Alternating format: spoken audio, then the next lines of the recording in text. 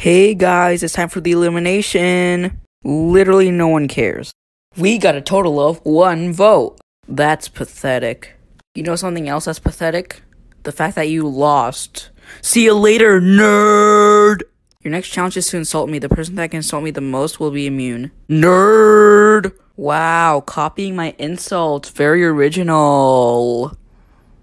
1 out of 10. Yo, mama's so fat that. Yo, mama jokes lead to instant disqualification. 0 out of 10. A poopy head.